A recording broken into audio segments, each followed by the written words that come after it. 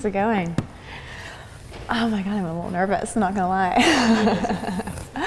um, I'm so thankful to be here and uh, very, um, I think humbled is the word.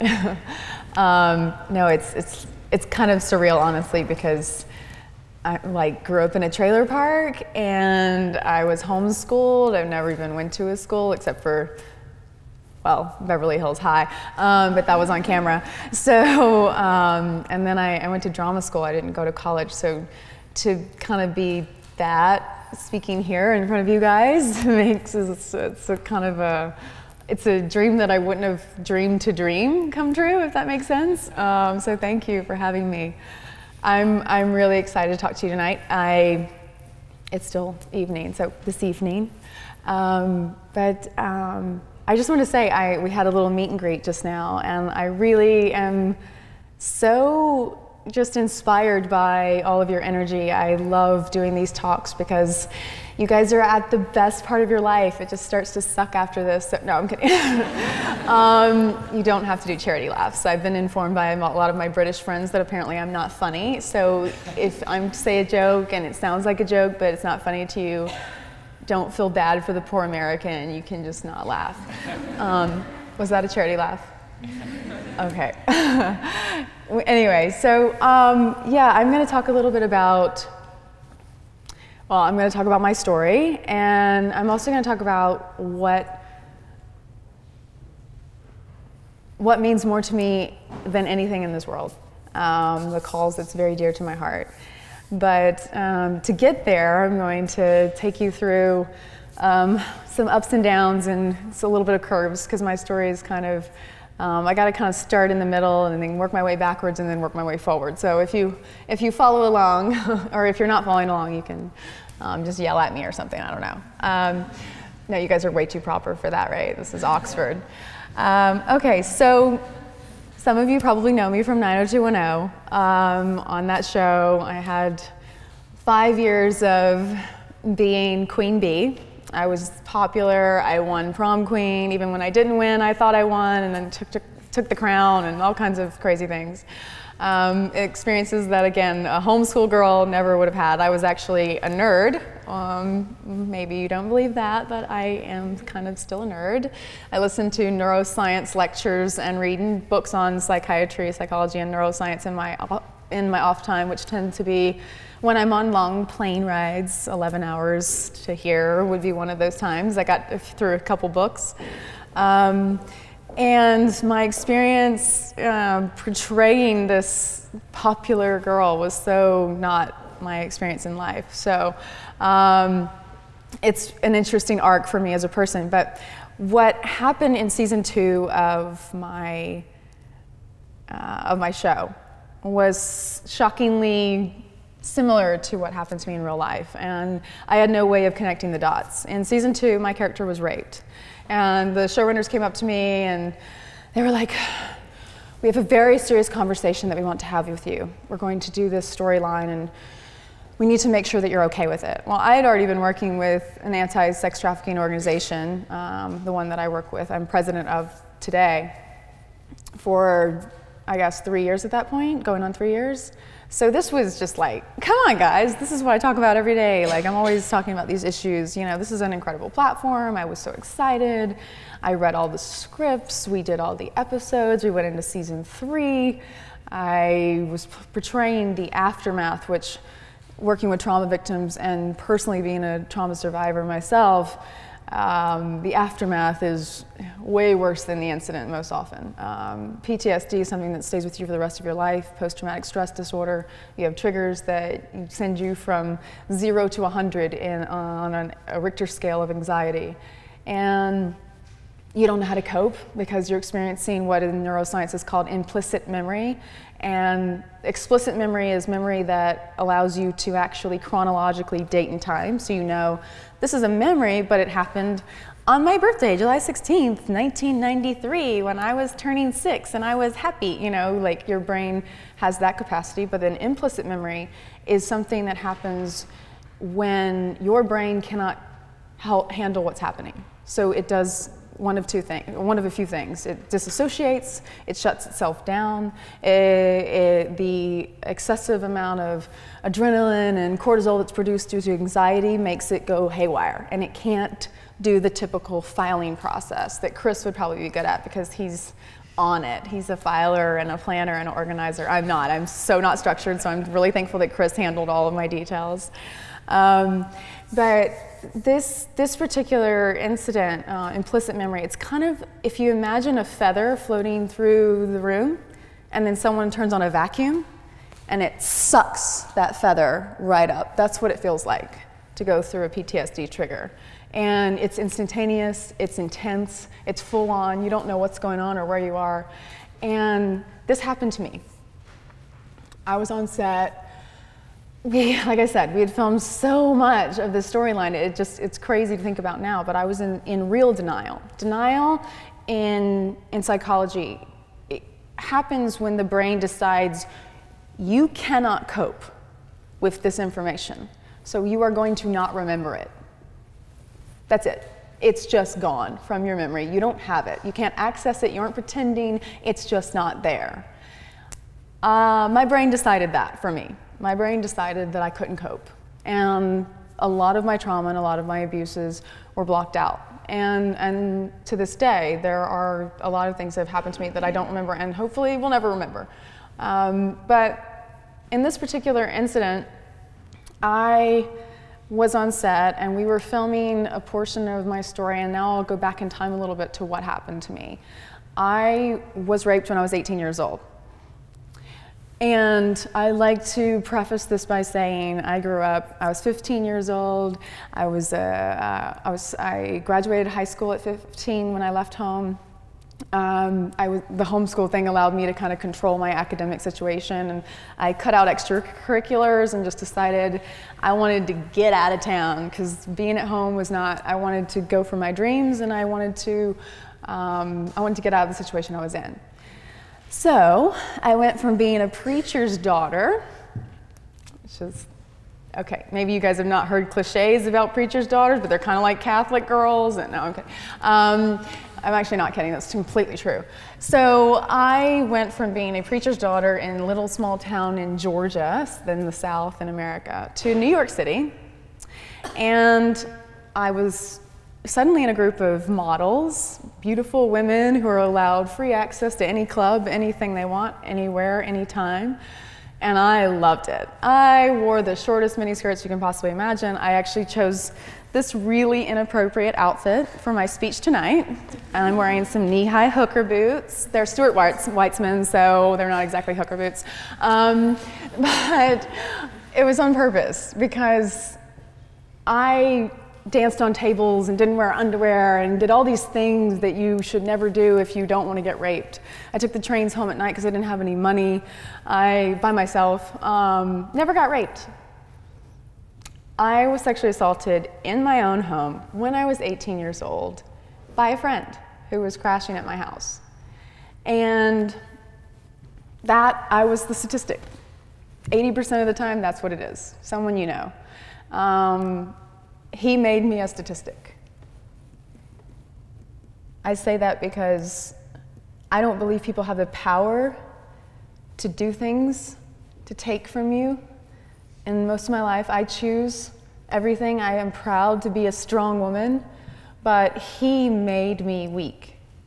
That was what happened in that moment.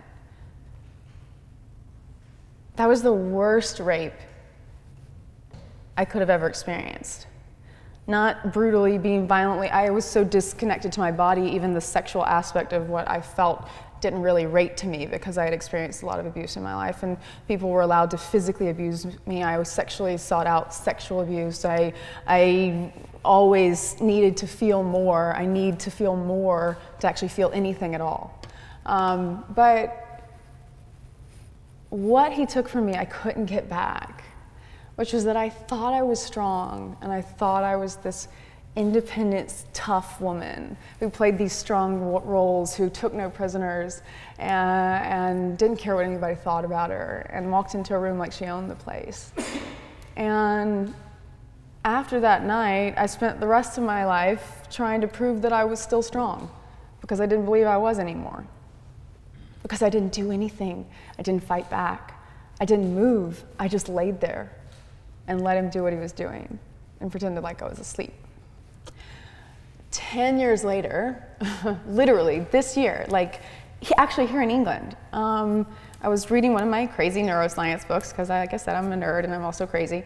And I was, I had the biggest discovery of, like, I read all of this so that I can understand what's happened to me. I, one of the biggest discoveries of my entire life. I learned about something called the dorsal vagal system. And this is really boring for most people, probably, so just tell me to stop talking if you want me to. But I think it's really cool, okay? This is an ancient survival mechanism that is common in reptiles. It renders the prey completely lifeless so that the predator thinks they're dead, so that hopefully they'll move along. And it tends to be um, prey with predators who like live feed, like, you know, so basically it shuts, it does a system override and shuts down the entire system of the reptile. Shuts down their lungs, shuts down their gut, shuts down their cognitive processing, whatever their reaction, their typical reaction. It does the same in humans, and that's what happened to me. I didn't fight back, not because I'm weak, I am a strong woman. I didn't fight back because my body said, You can't take this. You're not going to survive this. You could die. There's no telling what he'll do if you fight back. There's no telling what he'll do if you run. I'm going to shut you down so that you don't even seem like you're alive.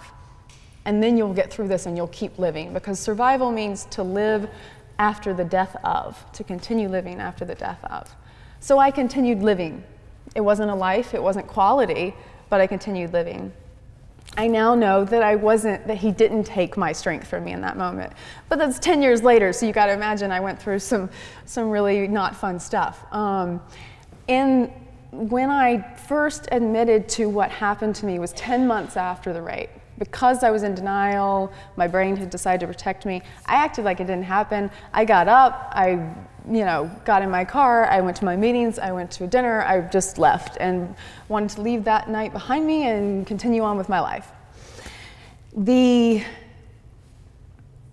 the whole night would come back to me 10 months later when the guy who raped me decided that it would be a good idea to tell all of our friend group, who I was no longer hanging out with because I didn't want to see him, that I was in love with him.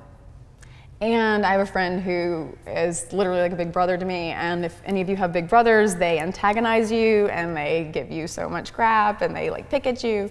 And, uh, and they, know your, they know your way, so they know how to call you out. And Kirk thought he was calling me out. And he was like, I know why you don't hang with the group anymore. You're in love with him, talking about the guy. And I was like, no. and I'm pretty good at like covering my emotions. I, I tend to like think that I'm a steel vault when I want to be. Um, there was nothing that I could have done to, to cover what I was feeling in that moment. Supreme panic, absolute duress, and my whole body got hot and, and anxiety, and I like just you know was panicking. And to him, it looked like I was just lying. So he's like, Yes, you are. You're in love with him. You're in love with him. You're in love with him. And he kept going and kept going until I finally just to relieve the pressure cooker that was becoming my body and my brain, just screamed, No, I'm not in love with him. He raped me. And it was the first time I'd ever acknowledged what actually happened to me.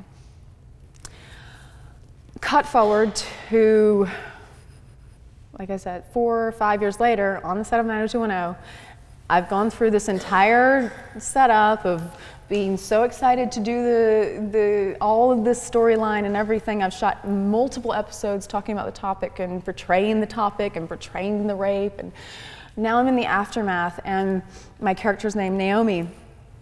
Naomi is just trying to get through insomnia, like not sleeping at night and nightmares and flashbacks and all of this. And then she enlists the help of one of her friends, Silver, and in the hallway of West Bev, um, we filmed a scene where Jessica Stroup, who played Silver, had to confront me about what happened to me, about what happened to Naomi.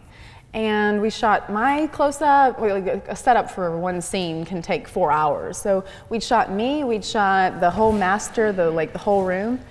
And they turned around on her, and then that's when the actress actually starts acting. They don't care about you when you're on your close up. They're like, I'm like, okay, what are, what are my lines? Hold on. Oh, did you need a cue? Hold on. Hold on. Sorry. Line. Um, and then it's like, oh my God, it's my close up. Can everyone shut up? you know, this is this is actress 101. Um, no, Jessica Stroup, you're so not like that. I love you. Um, I just remembered that this was being filmed. Um, anyway, so um, she just started really hammering me, and her lines were, "You, he didn't rape you. You're in love with him. You're in love with him. You're in love." Exactly what happened to me, and in one moment, everything came back. Standing on the set, in the stages, my workplace, my place of work, my home for five years, this perpetration on my person came flooding back into my world. And I burst into hysterics. Um, the, the, anxiety, the implicit memory, the feather being sucked to the vacuum, it all happened in one moment. And Jess was like, oh my God, thank you so much. You were so giving on, like, it wasn't even your close up. Like, oh my God. She doesn't talk like that either. That's really rude. I keep remembering that I'm being filmed. Um, but I, I make light of this because this is a topic of conversation that's not fun to talk about, right? We don't like talking about rape. We don't like talking about sexual assault. We don't even like talking about sex. I like to say, I love sex. I didn't like it the night I was raped. Because we need to have a conversation about this. We need to make this a topic that we speak on more. And, and I'm thankful to see in, in the last, uh, I guess, well, 10 years, especially when it happened to me, I certainly, there was no one out there talking about it for sure. But in the last five years, we've really seen people start to be able to feel like they can, they can speak about this. But imagine what it's like to be in the worst, most embarrassing and intimate moment of your existence, right? Like, think about your most embarrassing moment right now, everybody. Just like close your eyes for a second. What's your most embarrassing moment? And now think about your most intimate moment that you've ever had. Now imagine telling the person next to you or me or just saying it out loud to someone right now. Just blurt it out, like your most embarrassing and most intimate moments right now. Um, don't, don't really do that. It's not cool. It's not fun. It, it, it's, we don't like talking about these things. But the most powerful things in the world and what, what Oxford is all about is an idea, right? The idea around sexual assault and the idea around uh, women's issues in this regard. I call them human issues because I think we're all just humans. Just, you know, you can bury me later, but that's my opinion. Um, is that we need to talk more. We need to share an idea. And if the idea is that we don't speak on this topic, then that's the archaic idea, and you can't, you can't kill an idea. You can only replace it with something better. So the way I talk about it is how I dress does not mean yes. I have the right to be a sexy, beautiful, fun loving, powerful woman who dances on tables if she feels so inclined, even though apparently I can't dance either. Some of my friends also told me that. Um, but I have that right, and I have the right to do that without being violated and without being put, without the idea being put onto me that that is why I got myself violated. We need to speak about this topic more. We need to change the idea. So this takes me to my, my most important human moment that I had was I was being offered 90210 and I said no. Probably wouldn't have this turn out if I had stuck with that decision. Um, I know that I definitely am very thankful for having done the show now. It's given me an incredible opportunity to engage with individuals like you guys. Um, but I didn't want to do the show because I was miserably unhappy. I hadn't come to the awareness of what had happened in my story. I just knew that from the time I was nine years old, I knew what I was going to do. I grew up in a trailer park. I didn't know anybody in Hollywood. There was absolutely, positively no way in the world that I was going to be a success. Everybody told me to have a plan B, and I informed them at age 10 that my plan B was that plan A would never fail. Um, I was an arrogant little kid, I gotta tell you, not a lot has changed. I'm really arrogant still. Um, no, I, but there's something that I really want to touch on very quickly, and I know we're going to get into questions and answers and stuff. Um, is this, this, all of these moments happened in my life not because they were these horrible moments and they shouldn't have happened. Yes, if we could go back and change any bad moment in our life, of course we would, in theory. But I wouldn't be me. I wouldn't be here at Oxford talking to you if, if every single moment in my life up until now had not occurred. So I'm thankful that I was raped. Because I have spoken to thousands of other survivors like me who have let me know that I'm not the only one, that I'm not alone. And that's what the world to me is about. It's about reminding ourselves that we're not alone, that we're not different, that we're really all the same. We all have big dreams. You come here and you're studying what you're studying, and I know that you all have big dreams. Lolly and Chris, we, Harry, we all talked about that today uh, at lunch. You've got plans for your life. You know what you want to do. I'm here to ask you tonight do you know why? Someone has a call, and they better know why, and it better be important. Um, that's called being human. We all have cell phones. I don't get bothered by that. But what I do get bothered by is what's without whys. And I had that. I, I knew my what. I knew what I was going to do and I knew how I was going to do it. And I hammered and I nailed and I killed and I did it. And I didn't stop until I succeeded. And I was miserable because I didn't know why. When I turned 90210 down, I learned some very powerful negotiating skills. If you say no in your future job deals, you'll get more money if they really like you. Um, that was not what I was doing, but I learned that at 20, and I was like, oh, let's say no every time. Um, I like money. Um, but so I learned some powerful things, but I said no again. I said no three times. Um, so yeah, I had a little nice little ego going on there. I was like, oh, they want me. No. Come on. No, no. Um, but I really, that was not my headspace at the time. I can laugh about now, but that was not, I was really genuinely unhappy. And I got on the phone with my, my acting partner from New York, who's my really good friend to this day. And she's like, like everybody else, congratulations, I'm so happy for you. And I was like, if one more person says congratulations to my miserable life, I'm going to kill them. And she was like, okay, hey, just the messenger. Um, she and I have a funny sense of humor that's not funny, clearly, because no one laughed. But whatever. Um, anyway, she she was appalled by my stance on this. I was adamant. I, I, all my friends know I get into these little moods where you cannot convince me otherwise. I have an opinion. It is right, unflawed, and it is the way that it is going to be, and the world can just stand back and watch it happen.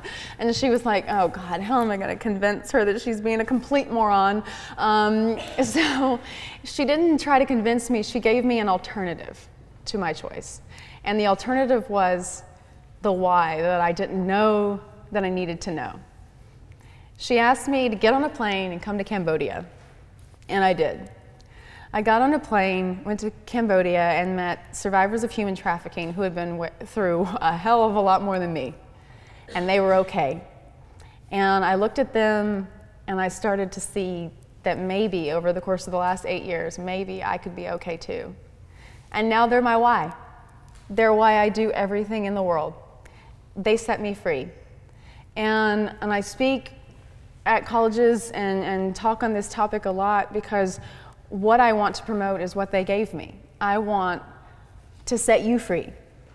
And maybe you don't need the freedom that they needed. Maybe you're not enslaved in a brothel in Cambodia.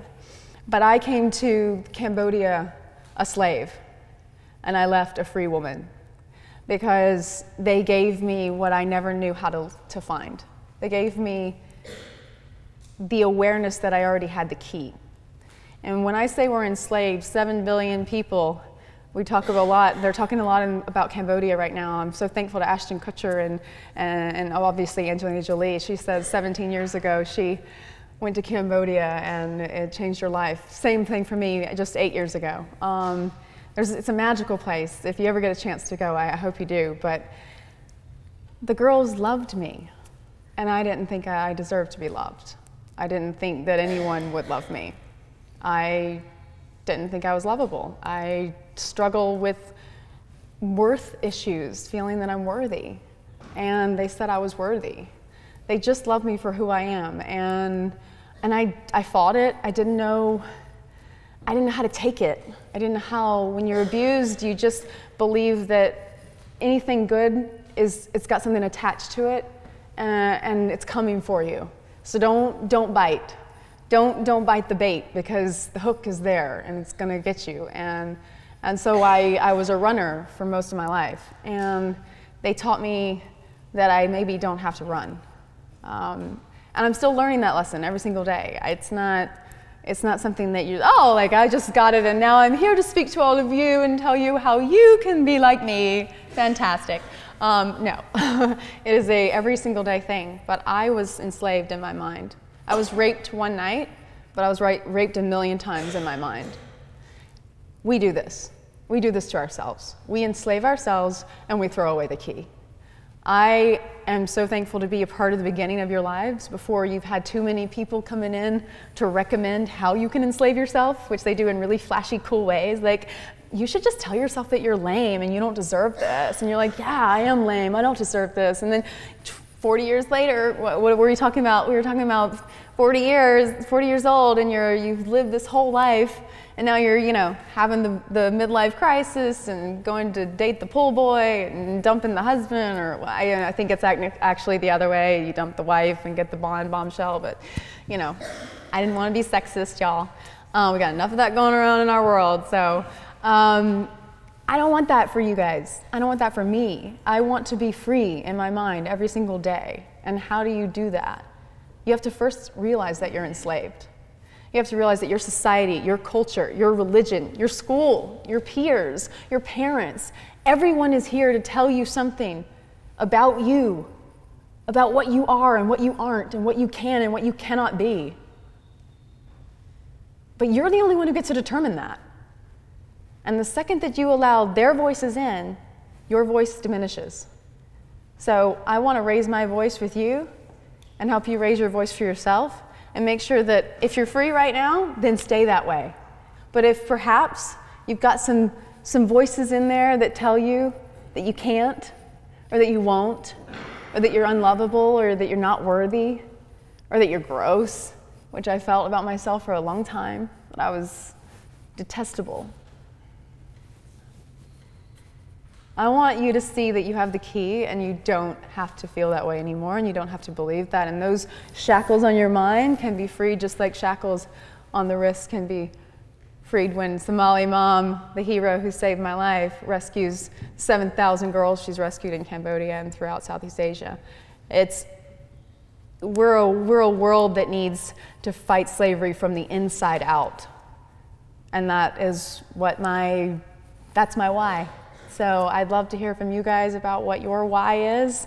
And um, what, what time is it? Did I talk too long? I talked really long. Oh my God. um, and that's, yeah, so uh, that's my thing. That's my stitch.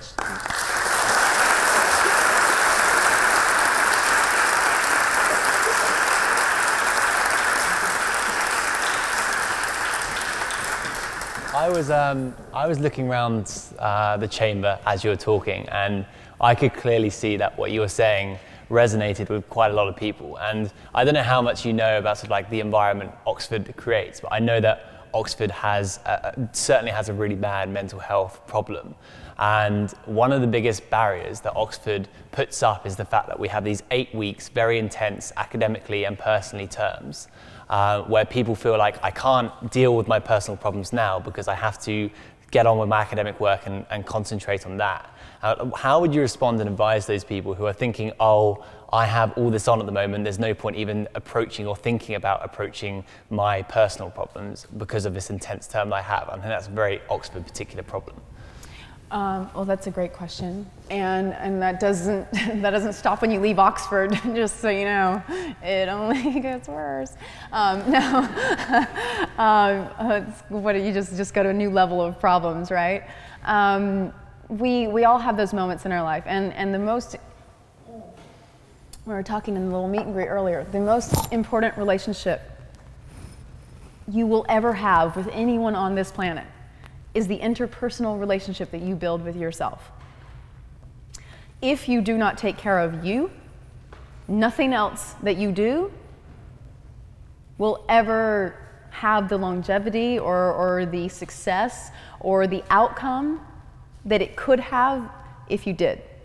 So, if in the eight week period of time when everything's going to hell in a handbag, uh, you don't take care of you, the, the, the, it'll show in your grades. It'll show in the, the, you know, the end all, the end result.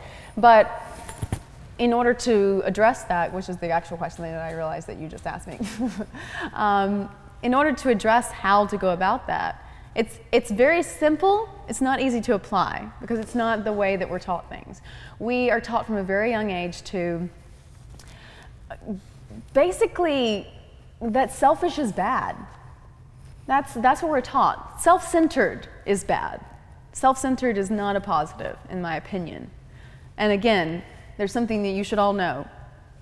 Don Miguel Ruiz says it. I love him. He wrote The Four Agreements. If you have a chance to read it, it's an incredible book.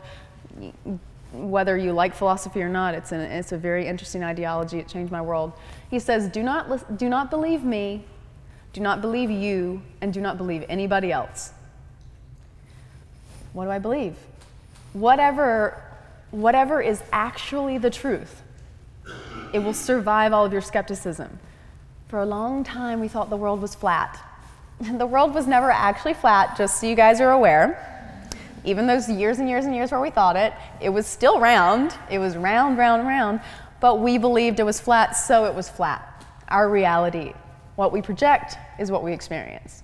If you project that you can't handle your mental problems or your family problems or your this problems during an eight week period of time, then you won't be able to.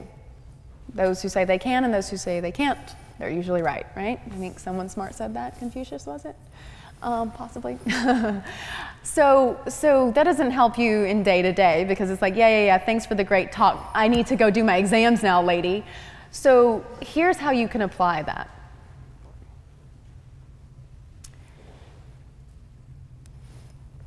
removing the belief that, that, that, there's something wrong with being selfish is the first step. S- selfish is the most important lesson you can learn to exist in this life. If you're on a plane, they tell you, please put your oxygen mask on first before helping someone else. It's really annoying when you've heard it nine million times, like I have. That's why I have these amazing headphones that are Bluetooth wireless. Um, but there's a really great metaphor because you know what happens if you don't put your oxygen mask on before you put it on someone else? You have 12 seconds with oxygen deprivation before your brain shuts down. You will tell your hands to move and they won't move. You will not have the ability to control your body function. It is very important that you put that oxygen mask on yourself first. That means be selfish first. Then you have something to give. You can give life saving oxygen to someone who hasn't, in that 12 second period of time, been able to do what they need to do because you now have taken care of yourself. In the most important relationship in your life is you, right? That's, that's getting to know you, building a connection with yourself. Stop being a douchebag to yourself and saying all the things that everyone else said and is up here and listening and believing everything that this thing says to you. Learn to be selfish and in that process, what will happen is that you will know yourself. I know me, and I have my friend Allie, who Chris loves. Allie and Chris are like two peas in a pod. They helped arrange this whole thing for me, and they are just amazing brains that I cannot figure out because they are so put together, and I am just not that.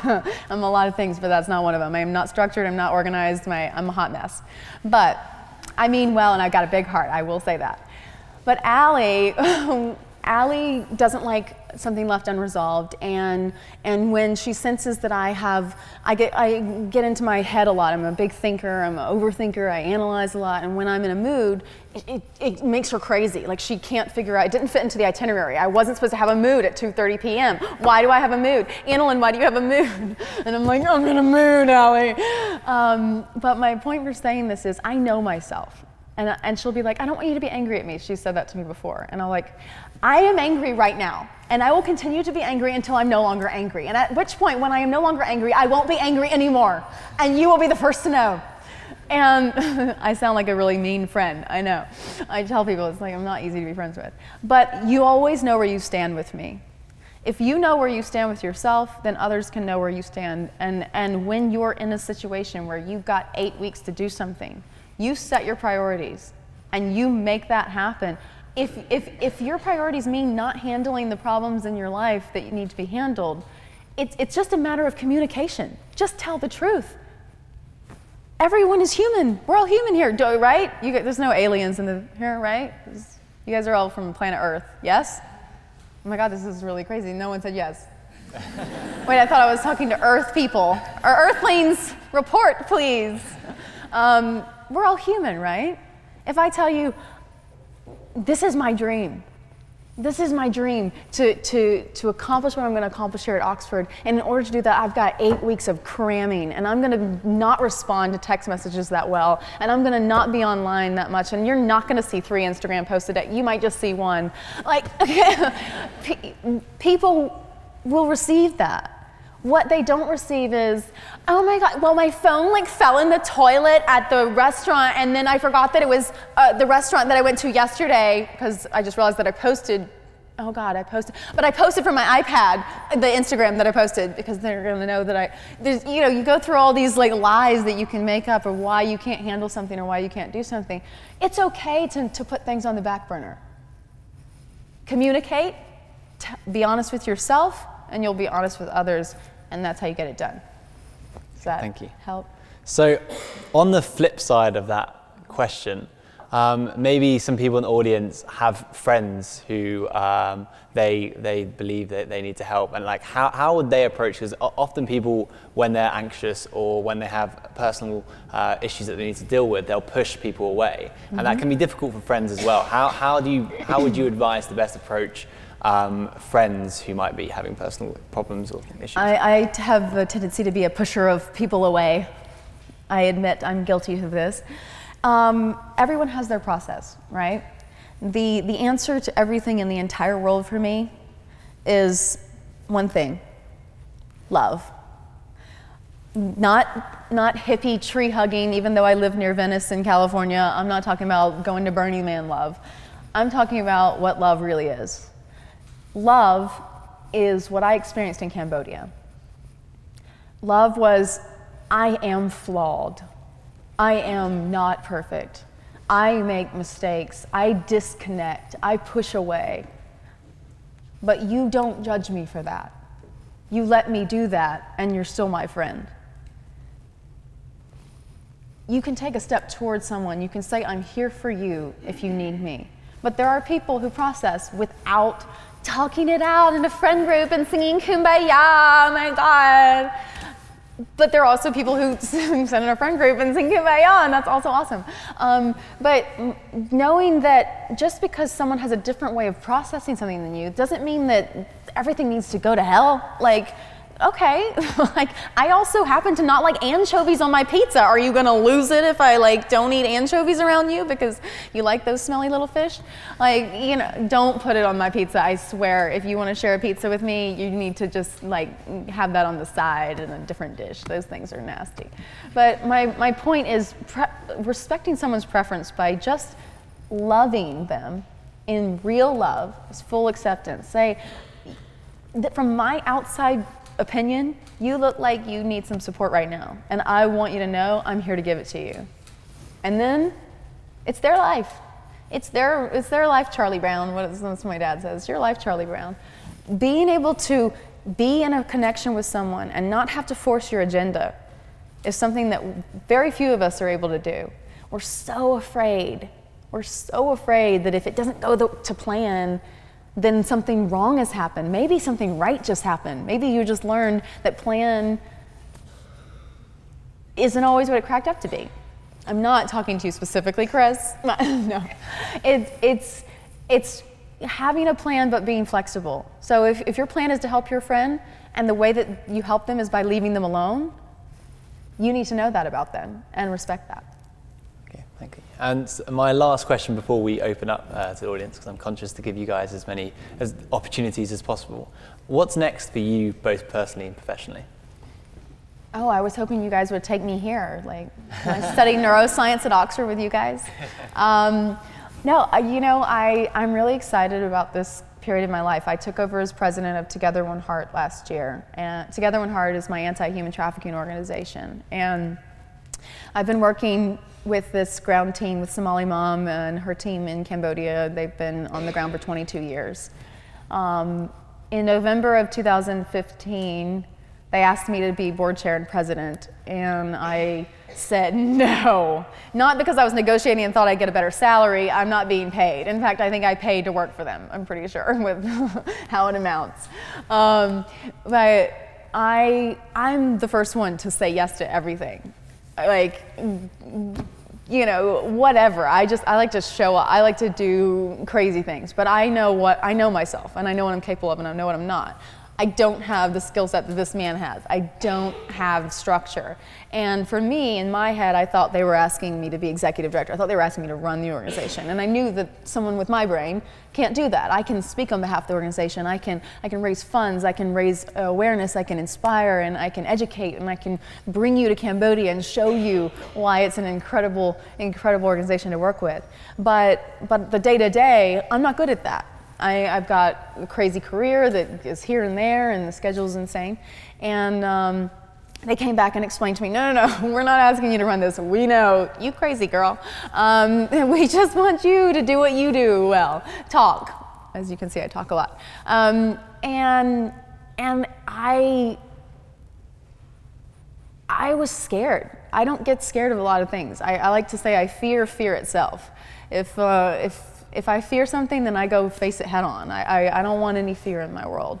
But I was scared because I value these little humans so much. I know them. I know I know their names. I know their dreams. I know the you know some of my little girls want, to drive sanitation trucks. Like they, they have dreams to be nurses and doctors and teachers. A lot of them want to want to you know own their own hair salons or, or be seamstresses, and they all want to hire other survivors. And they're three years old and five years old, and I've held them in my arms and I've rocked them to sleep and I've fed them, and I, they're my babies. They're my kids, you know, and and I didn't want to let him down. You know, I didn't want to say yes to something if I wasn't the right person for the role. And my entire why, my entire world had become this, right? So my when I said yes to being president, I took it really seriously. These are lives that I'm holding in my hands. And last year kicked my ASS. Can I curse here? Yep. Kicked my ass. Oh my God. I learned so much about just things that I wouldn't even have known to know about. And it was the best decision I've ever made. So I'm going to continue being president of Together One Heart as my number one role. I'm, I'm mommy number two. Somaly Mam is mom number one, and the girls told, called me mom number two on Mother's Day a couple years ago. So I moved from Bong Srai, which means uh, big sister, to mother number two. So now I've got even more responsibility with these little buggers. Um, they're wonderful, but they are crazy too. Those little, they will run you ragged. Um, but I, I, my number one priority is making sure that every two months I got 60 grand wired to Cambodia so that they eat rice and they have their college scholarships and, and they have what they need to, to be the little women that they're going to grow into. And, and obviously with acting, you know, I just finished Secrets and Lies, which I think will be coming out in the UK um, this year. Um, and, and kind of a, took a bit of a back burner with the whole acting thing last year because of the taking on as president. It was, you guys take a year off to do president, right? It's full on. So I did a little bit of a year sabbatical myself in that regard. It was an everyday process of learning the ins and outs and, um, And so now I'm, I'm back in and, and, ready to go. I've um, got a film opening at South by Southwest, uh, one of our film festivals um, in, in the States in March. So um, that'll be coming out in the kind of a, limited release, but will probably be one of my fun little cult films that I did. And um, I've been looking for the right show. I want to get back on a show. I'm ready now. It's I've kind of done like a year here, a year there, a little very non-committal. Um, but I'm I'm ready to get back on a show and and and do something of merit. Do something that I'm really proud of. I'm, I'm thankful for 90210, but I want to do something that has a, a bit of a voice within the show itself. And and I think that 90210 definitely had its moments, but let's just be honest, it's a little bit of a guilty pleasure. Um, and I love a guilty pleasure, but I, I definitely would love to do something political. Okay, great. Okay, if we're going to open up to the audience now, so if you have a question, please raise your hand nice and high and wait until a microphone uh, gets to you. I ask that your questions are quite concise. Um, okay, so we start uh, just at the front here in the orange one. Hi. Um, you said that you didn't like the use of the phrase women's issues and you preferred human issues. Um, I suppose in that vein, what do you think about the, the phrase feminism and do you think it's still a useful term to use nowadays and would you call yourself feminist? Uh, it's a fantastic question and one that I'm very happy to answer and discuss. I, I believe that the word feminism has a negative connotation for all of the people who don't like to actually use the dictionary. Um, the dictionary is pretty specific about what it's about. Um, and uh, the dictionary definition, I absolutely am. I don't use the word because of the negative connotation, and, and I have very specific reasons for that. One being, yes, I, uh, the, calling the humans human issue became very important to me as I worked through my issues with men. I, as you can imagine, had a few. Um, so I was, I was very, I, I was the negative connotation of feminist. Um, and I think that's why I hesitate at using it in, in the world because I don't like it and because it reflected a poor time in my life when I was quite unhappy. Um, now I am very uh, very thankful and, and want to be openly grateful to the majority of men, um, the men who actually deserve the title of man.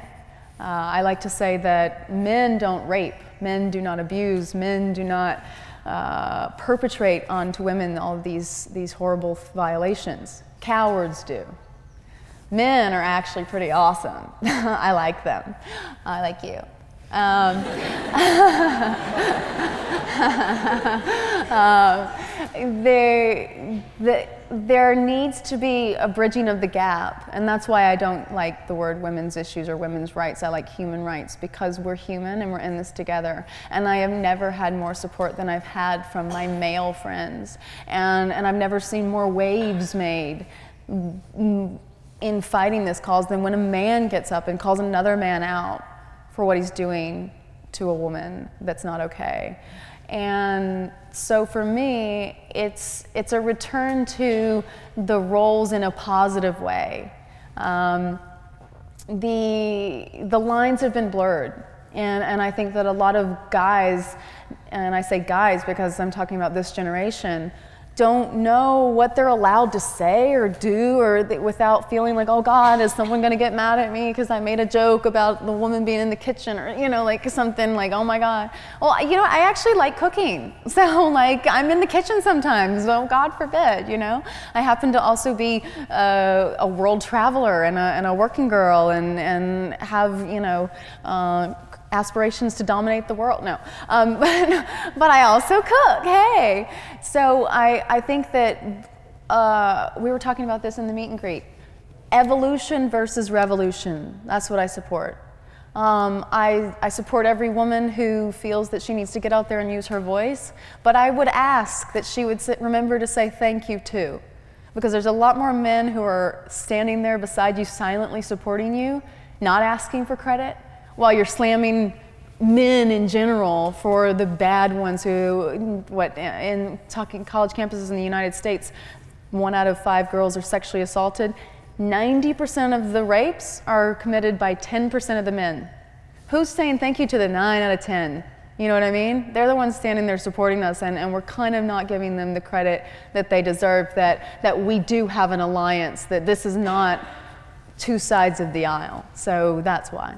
Thank you for the question. Thank you. If we come down to the front here.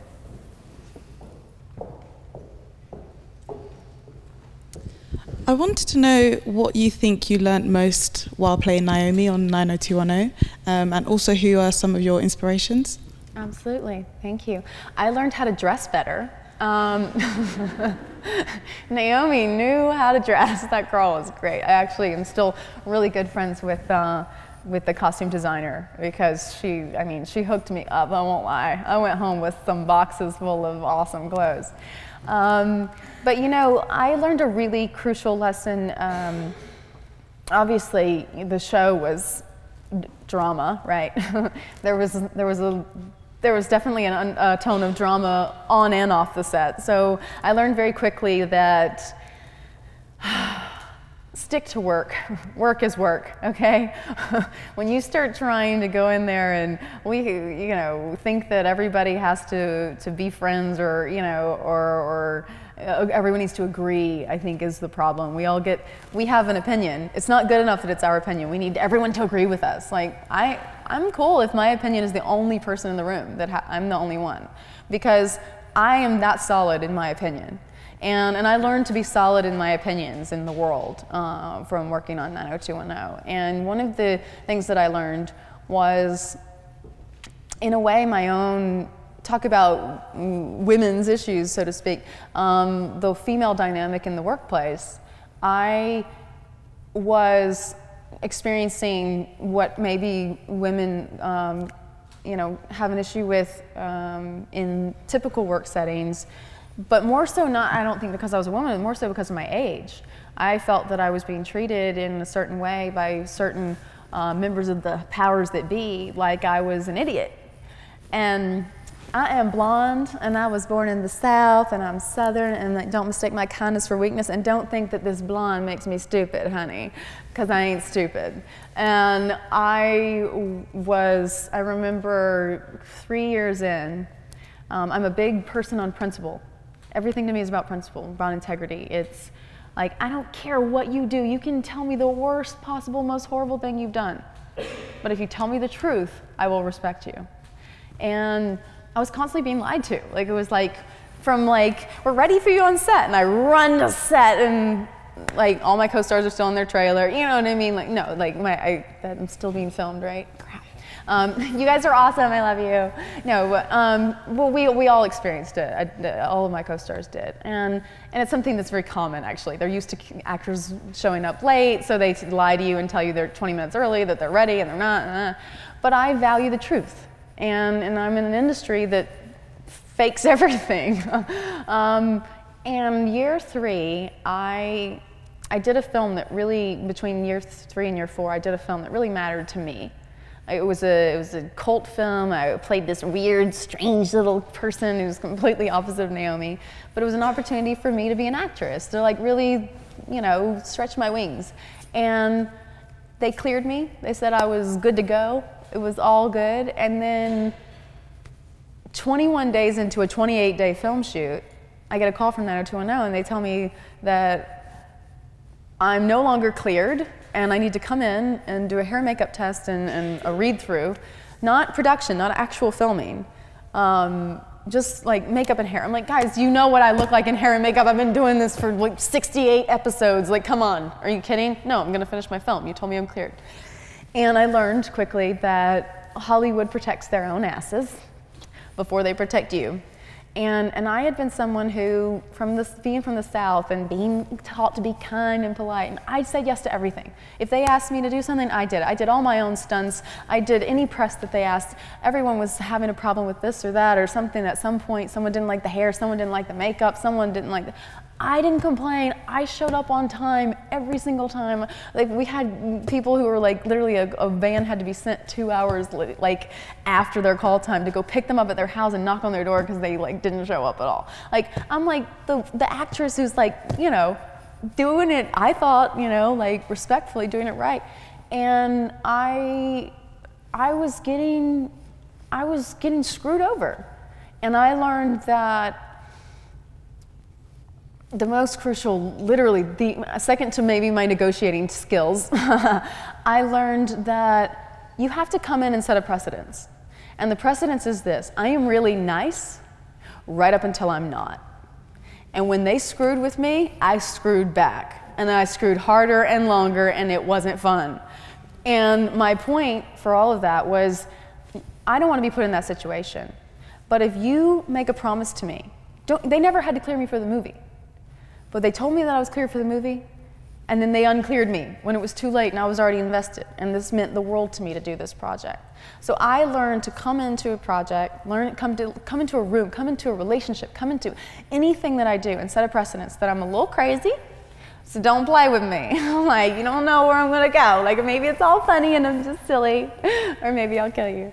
Um, no, but there's there's something about knowing what you're bringing to the table. And I know now what I bring to the table, and I know my worth in career. I had to learn it as a person, but in my professional world, I know what I'm worth, and I don't accept less than that treatment. And what I told them to their faces was, I had I had become a diva. I, I did everything that I ever heard. I locked myself in my trailer. I stormed off set. I made a scene, and I got my way. I got everything I wanted. And I got in their face and I told the producer, I said, let me tell you something. I will do this every single day for the rest of my series, okay? If you don't take me seriously. Do not lie to me. If you don't want me to do a film, and uh, you have the right, I'm signing a contract. I respect where I sign my name. I won't do it. But if you tell me I'm free, don't lie to me. Don't come back and say that I'm not. Don't tell me the camera's ready when it's not. I don't care what you tell anybody else. Don't lie to me. And that's what I, I learned that I needed to let people know early on who I am and what I'm about. And that, they, that I respect my job, but I will not tolerate being lied to. And that was that I, that's carried into my life and who I've become. And I think that you know, it was a very powerful lesson for me. Thank you for a great question. Before we probably have time for one more. Um, if we go uh, the hand just on the edge there.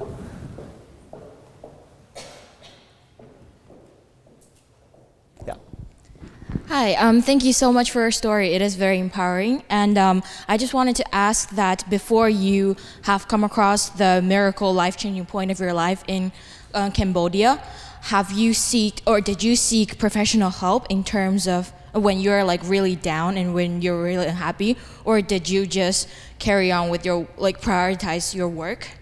And what if some what if people with like mental illness with mental illness who you know, um, who are enslaved with by their own voices can never have those miracle moments. What, what do you suggest them doing? Do you suggest them like create these, uh, create, trying to like create these miracle life changing moments themselves, or how do you want them to like, you know, persist on?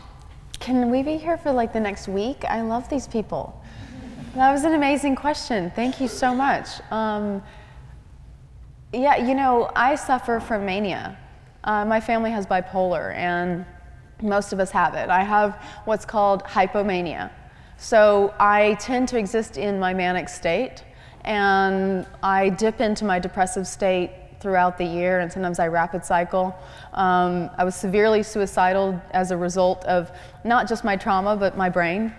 Um, I still have suicidal thoughts to this day. I know now not to act upon them. I did try to kill myself in Madrid about uh, seven years ago. I uh, used to cut up my arms, slice them up knives, um, due to this thing that, that can be my greatest asset and my biggest curse. And 100%, I did seek out help. Um, I will say for me personally, what has changed my life and my levels of anxiety, uh, which I also suffered from extensive levels of uh, anxiety, uh, both social and generalized. I don't have that anymore. I can never sit in a room and do this without panicking uh, the way I used to be. I would be sitting here thinking about everybody in the room and what they're going to say about me later, and if they could take this out of context and like, oh, if they're going to use it against me, or like there's some crazy conspiracy ulterior, you know, motive for bringing me in here just to tear me down. Like I would have these crazy thoughts, and what for me personally has changed my life, and it's why the neuroscience study and, and I am I'm obsessed with understanding my brain, is meditation mindful practice. Um, I read Don Miguel Ruiz Four Agreements that I mentioned earlier, and then I bought every book that he's ever written um, because that started the process of changing my life and having those miracle moments on a daily basis. I, I don't, I'm not saved from my brain. I work with my brain all, every day, all day long. And before I came here, I was having a little anxiety attack up in the room. Like, I'm like, I'm gonna go and speak in front of a bunch of people at Oxford, like they're gonna think I'm crazy and I suck. And I was walking, like pacing back and forth like a mad woman. Um, and I was just walking through my brain through it. I'm like, what if I was in the audience? How would I be feeling about the person speaking? I wouldn't be there trying to make her feel uncomfortable. I'd be there to listen, right? To learn something. I'd be there to see what she has to say maybe that's how all of you guys were feeling about me. And I'm thinking that this is like some ominous room that I'm going to walk into and I could possibly just do the, you know, most embarrassing thing in the world and it all goes to, you know, uh, it all goes to hell. And, and so I was working my, through my brain and I literally talked to myself like, like a crazy woman would. I say, I'm like, AnnaLynne, what's going on? You're okay. You're going to go out there and talk about what you love with people who are going to love what you have to say or they're gonna they're gonna challenge what you have to say, or they're gonna ask questions about what you have to say. And and this is a process that I do every single day, all day long. It's very exhausting for someone who has my brain. It's very exhausting for mental illness, but it, mental illness is very real, but it is also very, very survivable, if that's a word. Survivable. I don't know if it is. I don't think so. I just made it a word. Survivable. Um, you, you can survive it, but it's, it's not some magical cure. It's miracle moments all day, every day. And, and either that requires you actually finding the chemicals that help bring your brain back to a neurotypical state, back to a normal state, and you do that with a doctor that you trust who, who helps you find that, not too much, just enough to make you normal. Um, or you do it with a little extra work, and, and I have days where I don't want to do the work. I'm tired. Like, I just want her to shut up, that brain of mine. But the, the miracle moments can happen for every single person on this planet, and I can attest to it.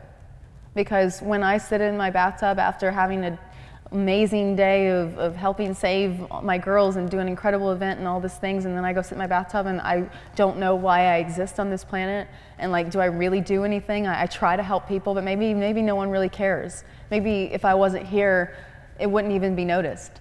Those are the thoughts that come in my mind. And then I sit there with them and I don't judge them. So many people judge them. I don't judge them anymore. I let myself think them and I let them go away. That's how I deal with it. I challenge anyone who, in any walk of life, but definitely someone who suffers with mental illness, to please practice mindfulness. It is where spirituality and science come together and unite.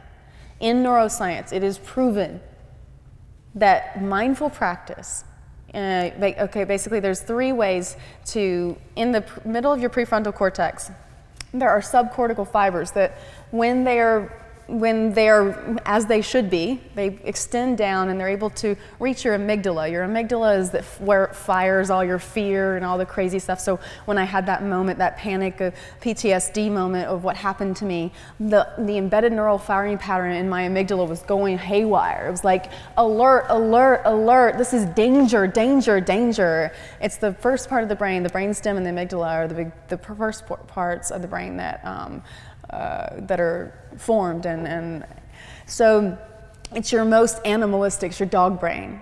And with three things either a, like attuned parenting when you're a kid. Not all of us get that, let's face it. Um, mostly actresses don't tend to if they're any good. Um, the next one is, is talk therapy.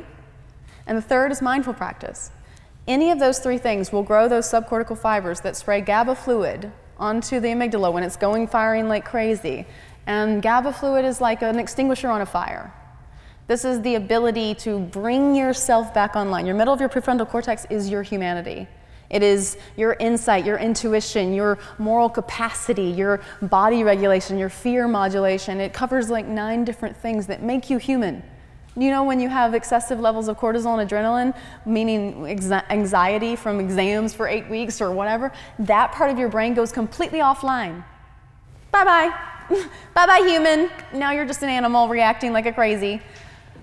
In order to bring that back online, in order to keep it online, mindful practice, people who have utilized the process of mindful practice for extended periods of time, have been proven to be able to keep their brains online due to the, the plasticity of the brain, neuroplasticity, the brain alters throughout your life.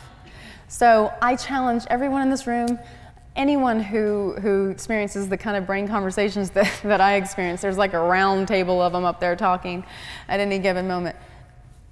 Do something, and it's not um sitting here um. It's doing something that you love.